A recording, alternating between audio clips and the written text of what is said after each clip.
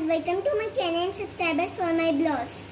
Today is my first blog. तो guys आज मैं आप लोगों को बनाना सिखाऊँगी होम मेड कंडेंस मिल्क इसके लिए हमें चाहिए one cup sugar and two cup milk तो सबसे पहले आप देख सकते थे मैं मिल्क को सॉस पैन में डाल लूँगी अब इसके बाद मैं इसमें शुगर डाल लूँगी और अब हम इसे पकाने रख देंगे।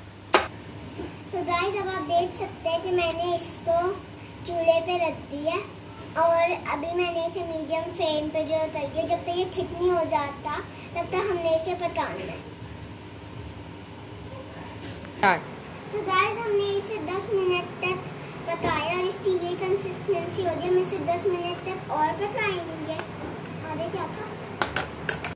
गाइस हमने इसे 15 मिनट पकाया है और ये बिल्कुल रेडी हो चुका है। और मैं